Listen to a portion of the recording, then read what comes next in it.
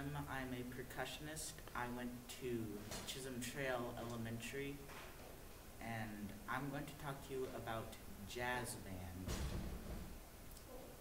If you pa- after you pass your beginner year in band, you can you go into either wind ensemble or symphonic band.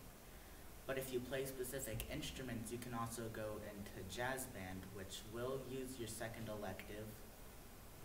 The instruments you can play and go to jazz band are trumpet, trombone, saxophone, and percussion.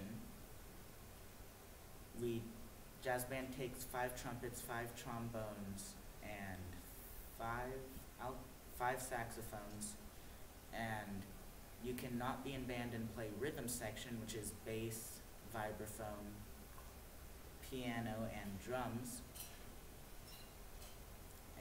In jazz band, you play much more fun music than in concert band.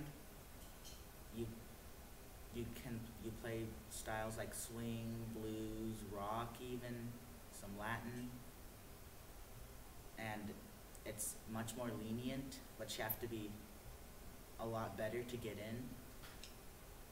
And I will now demonstrate for you.